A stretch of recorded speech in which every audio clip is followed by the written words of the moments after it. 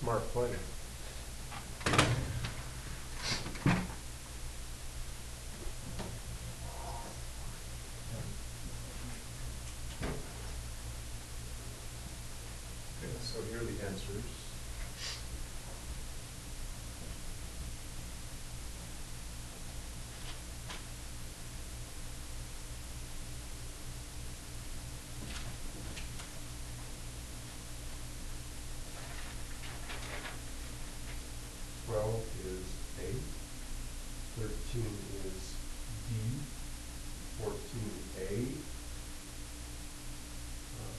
15 is A, 16 is B, uh, don't have 17 or 18. That just means they're usually too big at that. Uh, 19 is C. Most of the big graphical problems people don't typically struggle with anyway. Uh, 20 is not on the board, 21 is not there. 22 is B. And twenty-four is A. So, uh, do you want to discuss any of them? Can we talk about all? My best, hold on a second.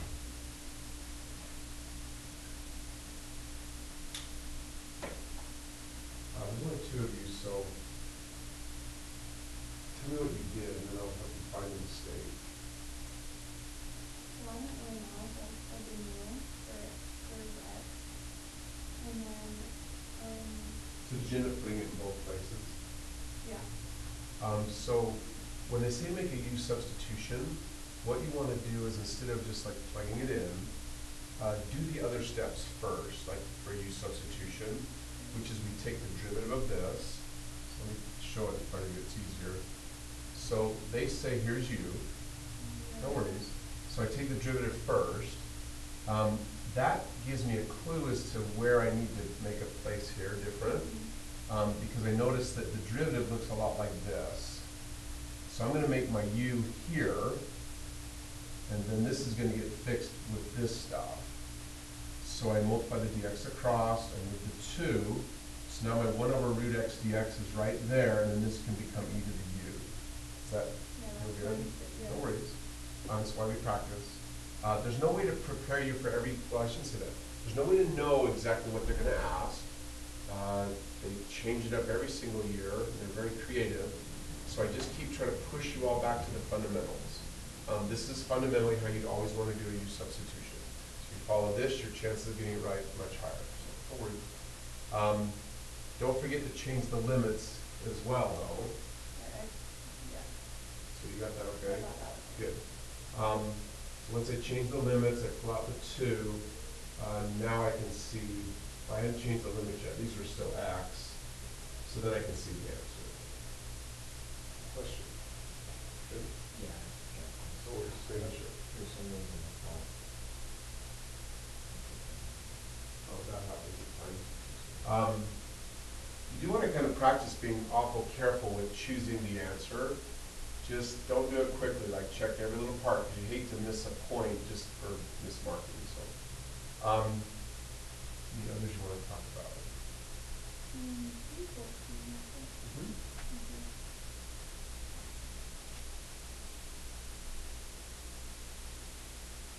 Okay, so f of x is this.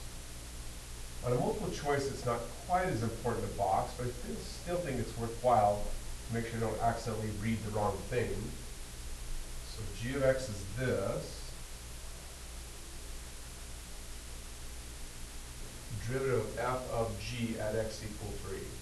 Um, The X doesn't matter, Oh. can do them too, we need to. we're good, We what need was to, the- yes. Okay. So, um, the derivative of f of g. A couple ways we can do this problem. Uh, I'm gonna choose one method just because we haven't used it much this year.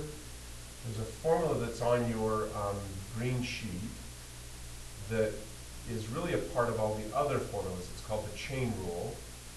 And we didn't really use it by itself hardly ever, if ever. And this is an example of where we can use it by itself. So I'm gonna do that, hold on. So one way to solve the problem is to use that memorized fact, which is, uh, they're telling you you've got f of g of x, and you wanna find the derivative of that. So the derivative of, and this is a memorized flashcard. Doesn't show up a lot on the AP test, it shows up enough that it's worth knowing. Um, because the formula is pretty easy to memorize. The derivative of f of something is equal to f prime of that g, then multiplied by the derivative of the g. It's basically the same thing you've done on a lot of different problems, like, say you had this, so you had the derivative of the sine of x squared. Well, you've been using the chain rule all year, because the derivative of sine is cosine, so that's like the f. So you've got the sine of x squared, so f is sine, and this is like x squared. So you take the derivative of the sine, that's the cosine, you plug in the g, and then you finish by taking the derivative of the g. So you have been using the chain rule, you just haven't used this particular formula per se. Does that make sense? Good. So I'm gonna use this to answer this question. So I'm supposed to find the derivative f of g of this, so I'm supposed to find this. So that means I need to find f prime. So f's up there, so I say f prime of x is one all over square root, of 2 times the square root, x squared minus four,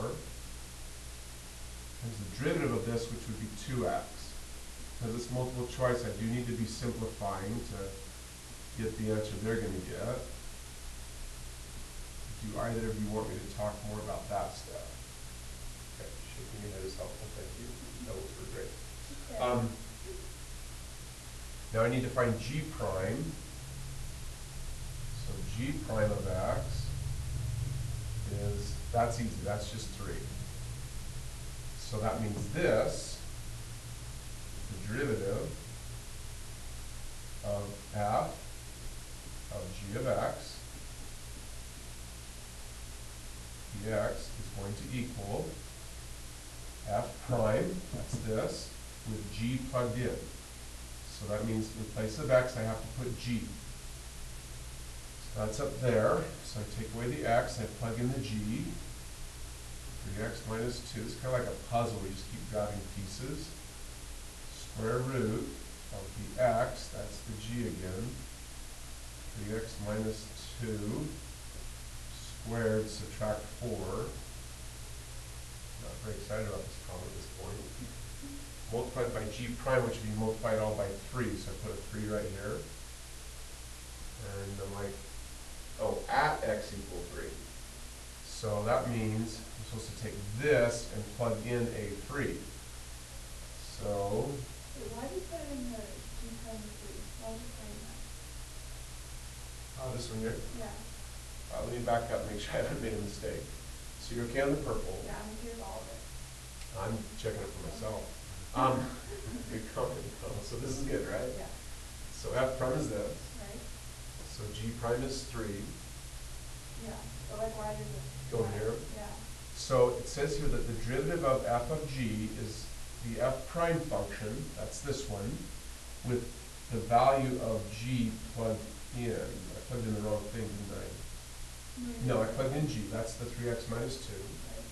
So I did that, but then I have to multiply by the value of g prime. And since g prime is three, that's why I multiplied by three. That's just the rule. That's just the rule, that's the chain rule. So I followed the rule, I've got that done. Uh, now I need to do this when x is three. So that means I do derivative of f of g.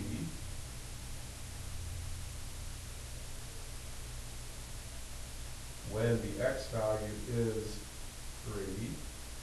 So now that's gonna be, let's see, three times three minus two, all times three, all divided by square root of three times three, I always use parentheses save errors.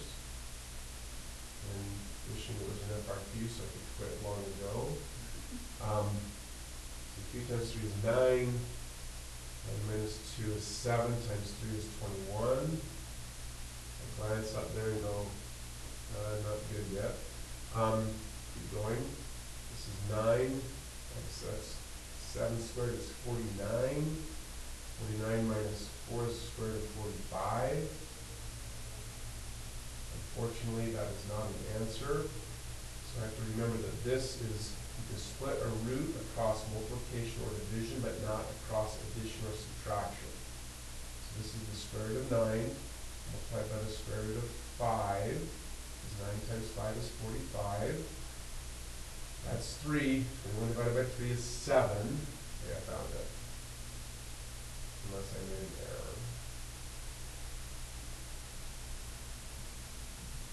Both good? Cool. There's another way you can work the problem, if you want see that, I can show you, or you can just go with this. This is probably the best way to work it, because it's the best preparation for a possible future problem that's dealing with the chain rule. Not a common question, but it has shown up before, so that to me is the best way to go. Cool. Other ones you'd like to talk about? That was which number? Fourteen, okay. You said which one you wanted was? Oh, you had a different one. Thirteen. Thirteen. Function f is defined by this.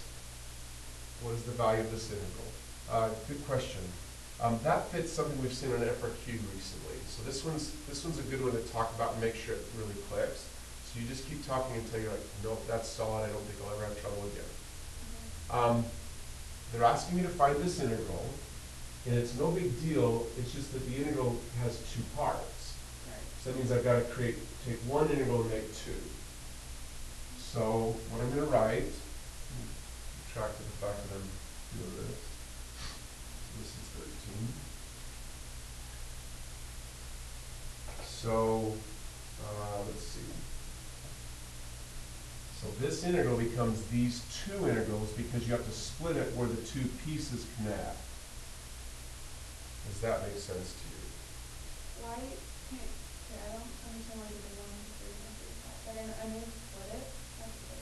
No worries. So it goes back to what a piecewise function is. So normally when we have a formula for f, that formula works for like all x. But in this case, the f formula is this formula whenever x is less than three, and then it's this formula whenever x is greater than three. So the integral's gotta go all the way from one to five. So between one and three, I'm supposed to be using this because that's the values that are less than three.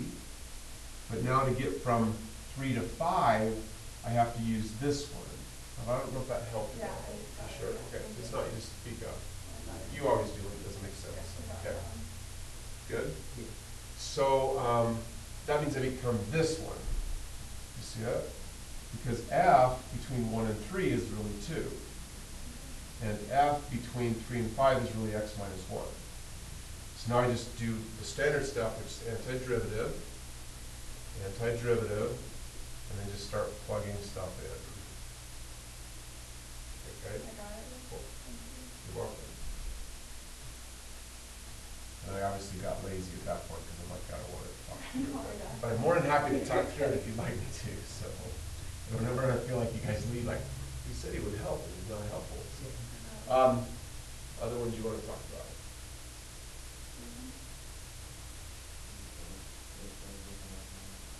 I struggled with this, honestly. Don't worry, it doesn't matter if we talk about every single one, because the goal is to spend the next twenty-six days just getting better. And one way you get better is with your flashcards, and the other way you get better is talking about it. You can't really get better just practicing alone. It's like you have to practice, and hey, I got stuck here, why did I get stuck? Just like this one. This is, like, if this really clicks for you, and if you need a flashcard, great, make one. Uh, then you'll never have trouble with any concept related. That's the whole idea, is to just keep knocking down those dominoes, like, okay, I got that one done, I got that one done, so now I have this flashcard deck, and I know that anything in the deck, I don't have any trouble. You need to add cards, you add cards. Uh, which one do you want to talk about? Okay, so I kinda got like the gist of you said, but kind Couldn't quite get the Yeah. answer. Um, So give me a function f. What is the absolute max? Okay, good. So you need to have a card that says the max of f occurs at the beginning of f, the end of f, or at any critical points of f. So that's a key card you need to have in your deck. Because that shows up on a lot of different, shows up in multiple choice and FRQ. We, check to write that down. So the max of f, and it applies to min as well. So the max of f is at the beginning of f, the end of f, or where f has a critical point.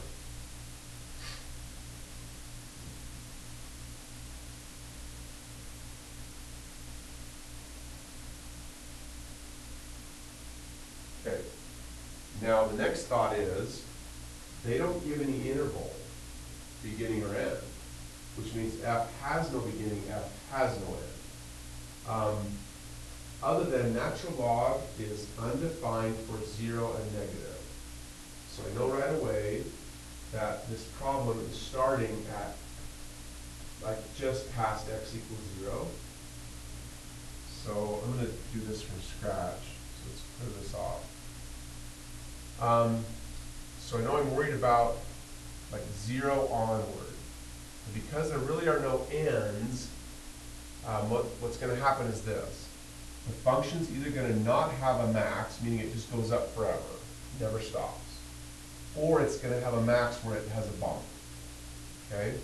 So I'm gonna focus on the critical points first. So now I have a flashcard that says f has a critical point when f prime is equal to zero or undefined. So I go find f prime.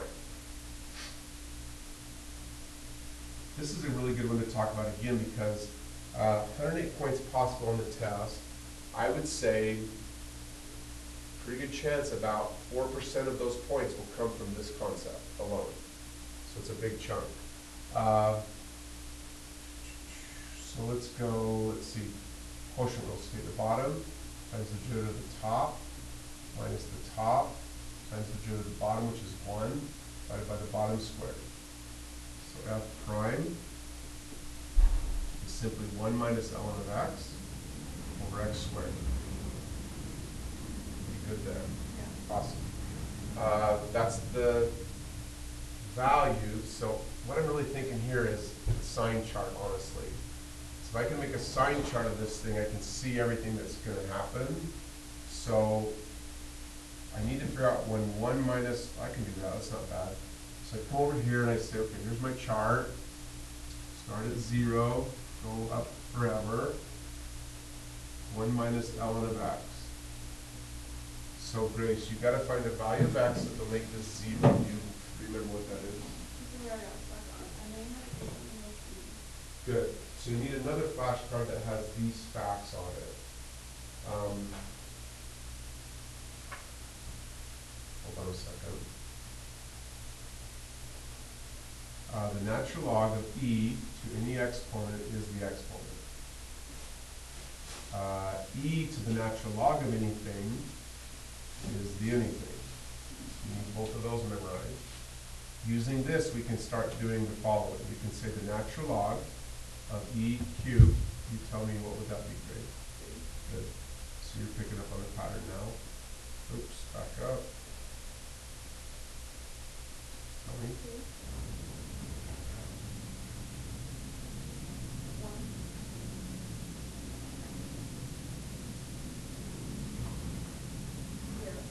Yeah, that's because one is the same thing as e to the zero power.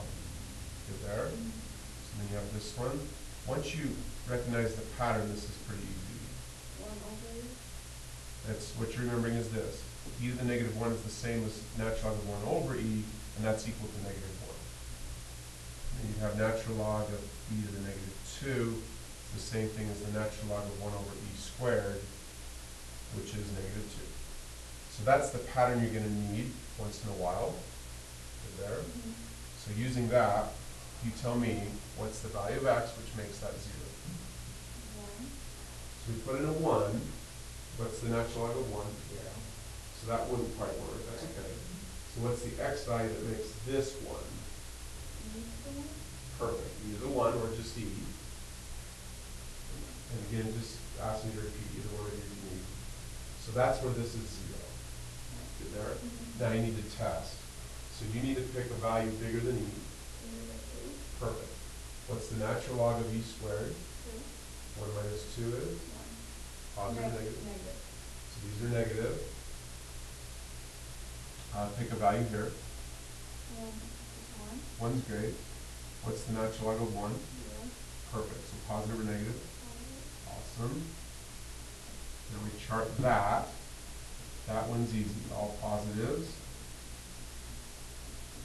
So it's working great. So F prime is zero, positive, negative, which means F goes up, F goes back down. So the max has gotta be there. Does that make sense? Because that's all the F does is go up and down. So that's how we know, oh, wait a minute. Mistake. That's not one of the answers. So either you know what to do now. I don't know if I just got lucky or not, but I just plugged in all the values that were listed and E, well, cause ln of E is one over E. That's one of the answers. Um, yeah, you did get a little lucky there, because on FRQ you wouldn't get it, of course. Um, what I did too quickly, I made the mistake I tell you guys not to make. Don't go fast. So, and reread. So, this is the function, we did that, was the absolute maximum value. The maximum value means y coordinate. What we found so far is the x coordinate where the max occurs. The max occurs on this function, so that's why we have to go find the value of that function at that x coordinate.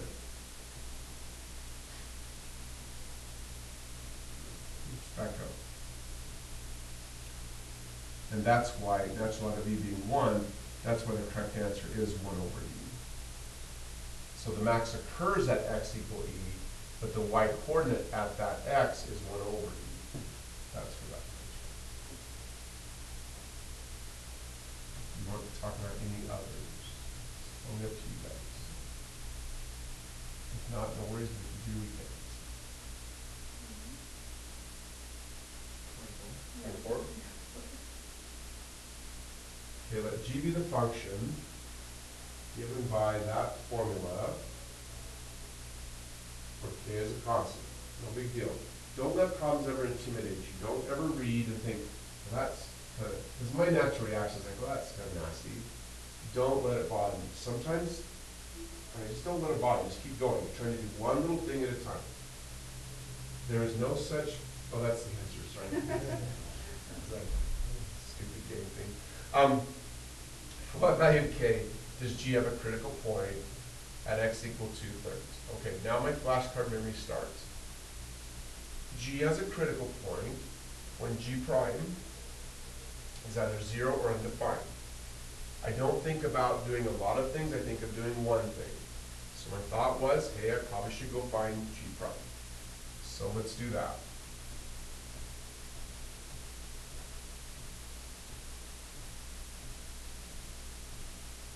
Okay, so I have to use the product rule. So I take the second function times derivative of the first, plus first times derivative of the second. Good there? Uh, let's see, this is two x. The derivative of e to something is e to that something multiplied by derivative of the something. Both good? Uh, derivative of kx is just k. So are you both comfortable here? Okay, once I found g prime, I remember, okay, I- in fact, I reread now. I go back up and say, okay, supposed to figure out where g has a critical point when x is two thirds. Well, factoring always helps, so I factored. Get to there. What did you count the X? Oh, just because I forgot. So it actually worked, it would have been better to take it out. It makes the problem easier, so let's fix that. So let's put an X here. Let's fix this.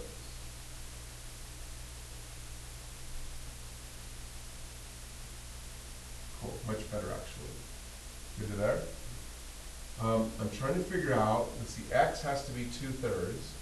So I put in the two thirds, for x. So this is not here anymore. And that's not squared, you good? It's gotta equal zero, cause that's what causes G to have a critical point. Okay? Here's a flashcard memory that is commonly used on the AP test. Solving an equation means find the value which makes the equation true. Well, what you have here is one, two, three factors being multiplied, and the result is zero. So one of you tell me then, what must be true about one or more of the factors? Okay, so you're not seeing what I want you to see as quick as I need you to see it, so we'll talk about it again.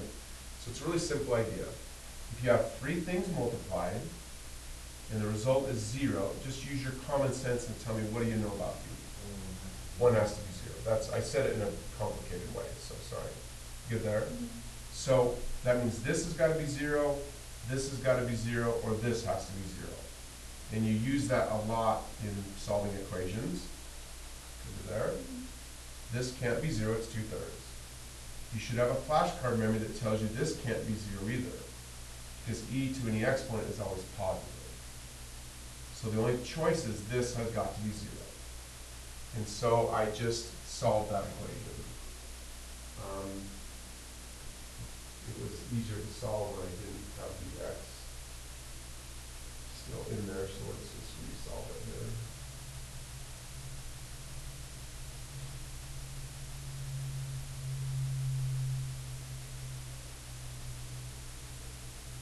So we end up with, so we've got two plus two-thirds k has got to equal zero.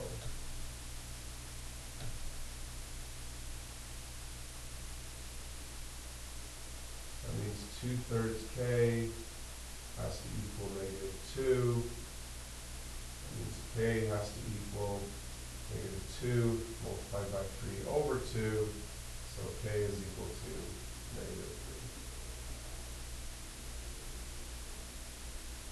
It's a really good example of a problem that can be, if you try to do it all at once, it's a bit overwhelming. If you break it down into one little thing at a time, it's not bad. Question? Good. Anything else you want to talk about here?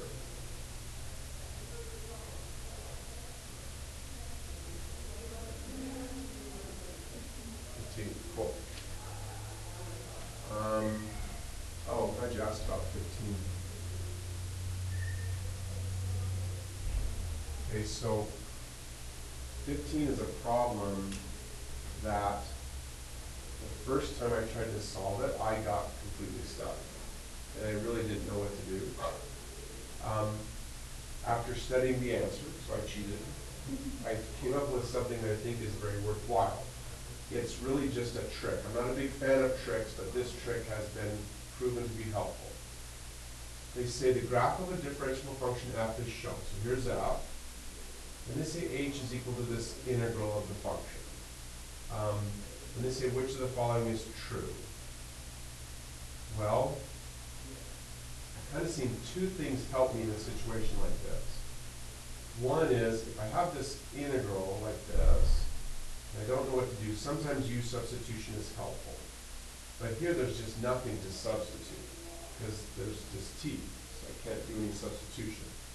The other thing that has proven helpful to kind of unlock the problem and make it not so mysterious is to just say, hey, let's just randomly try taking the derivative. Now, I took the derivative not knowing that it would help, but it turned out to be actually very helpful. Here's why. One second, Ben. Um, so I take the derivative of h. Uh, there's stuff all over the place here. Let's clear this off and start from scratch. So I'm going to take the derivative of h. So I have to use uh, that rule, rule 17.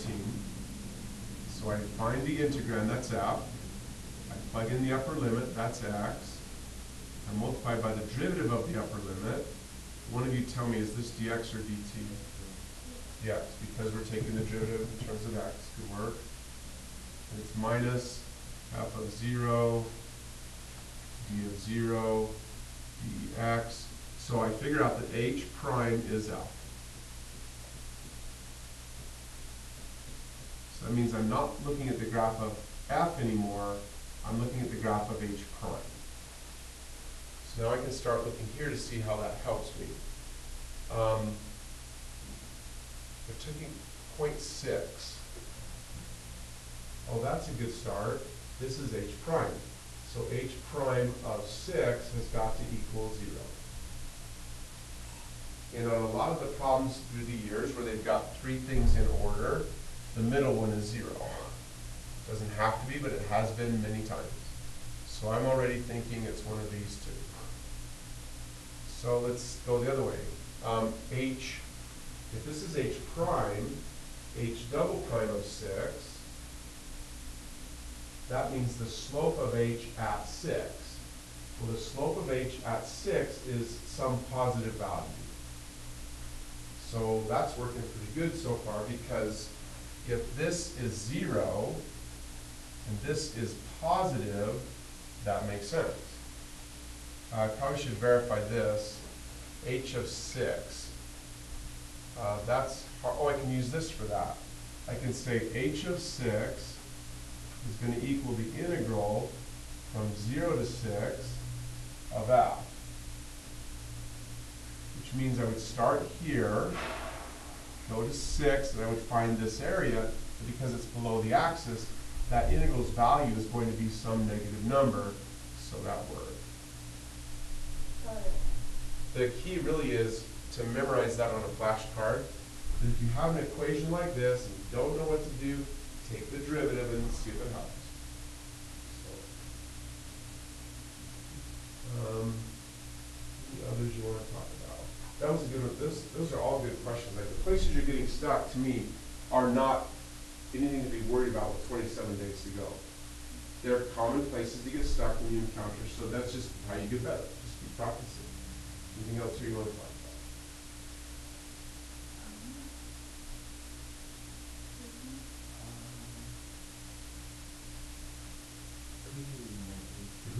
Uh, I just finished the, um, some tests, cause I missed my some tests, so I Oh, was no wondering if I could get this scanned from the. Yes, just wait one second. You okay, on time? Yeah. Okay. Um, nineteen, is that what you said? Yeah. You're good. Uh, the function f is defined by this. What points on the graph of f have the property, the line tangent to f has this slope? Um, I'm reading the words line tangent, so I have a reflex, which is I just draw the picture. So, and I cheated, I didn't draw the picture. Can't Do it without drawing a picture, I feel bad. Um, so nineteen here. So I've got F.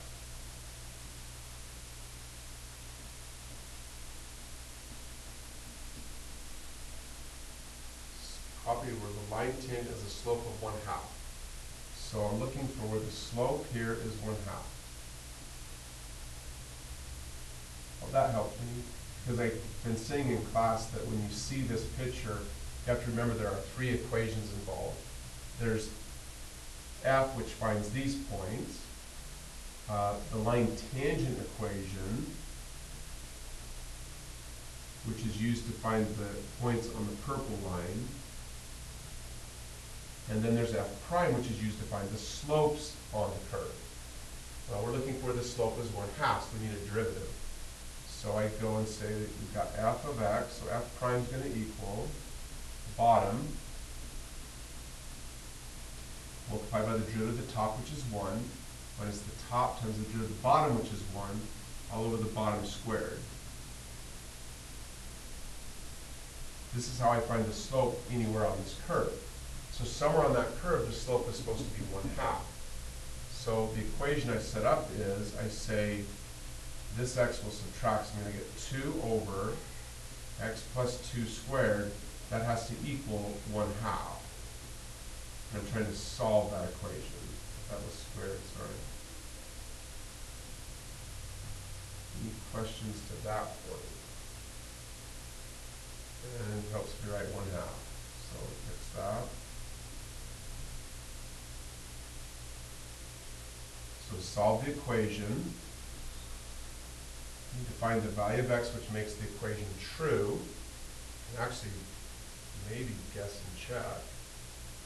Put a two right there. No, that's too big. So let's don't do that. Uh, zero would work. Let's just solve it. So I multiply both sides, and you end up with this equation. Multiply both sides by two, that puts a four over here. Multiply both sides by that, you end up with this.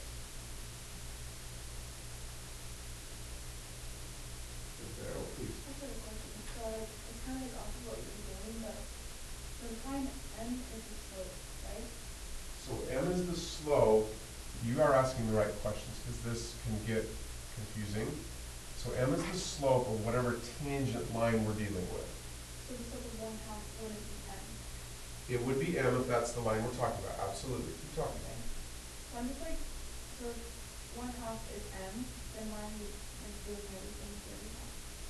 So the difference is that it's, it's not a problem that asks me to find this equation. Right? If it was, then I'd know that M is one half. But you need f of x to find the point, and you're using You're- Doing just great. We need F to find the points here, you're right. So, let's keep talking until it clicks, because you got the right questions, I just don't have the answers, I'm not saying it very well. Um, the slope of this line is definitely one half, that's definitely M. Um, F is definitely how we find all these points. Trouble is, it says, what's the point where the slope is one half? We don't know the point. What we have normally done in the past is we actually know the point and we go find the slope. This one's backwards. We don't know the point, but we know the slope. So instead of finding, so like, it's very common to find the derivative, plug in the x to find the one half, right? The derivative is only for the slope. Derivative is how we find the slope. Anywhere on the red, anywhere, and we're interested in finding that slope right there. Mm-hmm. But we actually know the slope right there. What we don't know is the x that will cause this to be the slope. Okay. Let me say it again, because, um, anyway, so a normal problem would be, write this equation, Mm-hmm. and they would give you this point. Okay. And what you do is you find the derivative, you would plug in the point, and you'd find m, and you'd be done. Mm-hmm. Fair? Fair. Sometimes you'd have to plug in the x into the equation here to find the y. Okay, this one is backwards. Instead of giving you the point, and you take that point, and you find the slope, and then you find the y. So let's make a, let's talk about that for a second. So a normal problem, what you're gonna do is you're gonna use f to find f prime. You're then gonna take like f prime of some point, I'll just pretend it's two, and you're gonna find some slope there. And then you're gonna take f and you're gonna plug into and find some y coordinate, I'm just making these up by the way. And then you're gonna use the x value of two, the slope of one half, and the y value of one fourth to write this equation. Does that feel good to you? Yeah. Awesome. This question is using the exact same concepts in a different order. So they're telling you the slope happens to be one half, but they're not telling you what the x is. So what I did is I found the derivative first, and I said, I know that f prime should be 1 half. I need to find out what x would cause this to be 1 half. Okay. Good there? Good, let's keep going. So then I come up here and say, okay, to solve this equation, I need to take the square root of both sides. Whenever you take the square root of two sides of an equation, you have to consider both the positive and negative root. So this could be positive 2, but it could also be negative 2.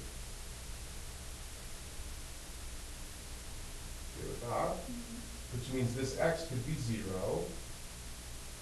or the x could be negative 4. So I found two possible x values that if we plugged those x values into here, we would end up with a slope of 1 half. That means that on the curve, there's really two places where the tangent can be 1 half. Well, we want to find out the y coordinates that go with them now we go to that equation. So it really is the same concept that you've used before, they've just reordered the concept, like in a different order. Please, Kate. So, once you found the x's, couldn't you just look at the answers and the x coordinates and it's c, so. like, Yeah, for sure. You wouldn't have to find the y, just the, or at least just one of the, Correct, as a shortcut. I always demonstrate kind of FRQ style, just so if you couldn't. So yeah, you just go here and you say f of zero is zero, but you're right, over zero plus two, uh, that's just zero. So I've now figured out that one point is zero comma zero. The other point is going to be, plug in the negative four. That's gonna equal negative four divided by negative four plus two. That's negative four all over negative two, which is two. So I found the other point to be negative four comma two, like Kate said. Good question. Um, that one makes my head hurt. No, really, like I can get through it because it's just really using the exact same concepts, just a different order. So normally, like I said, we find the derivative, we plug in the two, and that would give us the, you know, it wasn't what we thought there. The number would have plugged in as one of these, but we just did it in a different order, so. So you plug in, so you got zero and negative four, and then you plug it, both those back into f of x? Because I need to find the y coordinates that match up with the zero and the negative four. Okay. So again, when you see this picture, you are remembering properly. F is how we find x and y on the red. Um, F prime is how we find slopes on the red. What was different is we already knew the slope. So we used the known slope to find the x coordinate where that slope is located. And we found there were two places where the curve had that slope. So a new picture that would be more accurate would be something like the curve has a slope of one half, and then the curve has a slope of one half again. Well, that would be three times, so let's don't do that. Uh, something kind of like this. So, right here, the tangent turned out to be one half. And right here, the tangent turned out to be one half.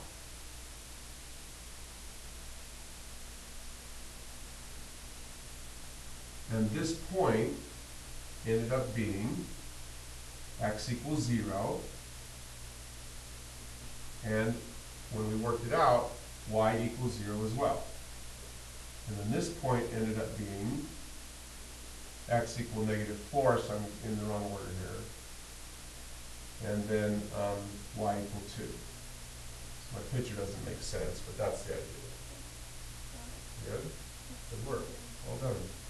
That one's a really good one to talk about again because it's hitting uh, concepts that show up a lot on the AP testing. Probably in that five, really five, six, seven, eight percent range. That idea. So, anything else? Good job. We'll call it a day. Good work. Well done, you guys. Well done. So.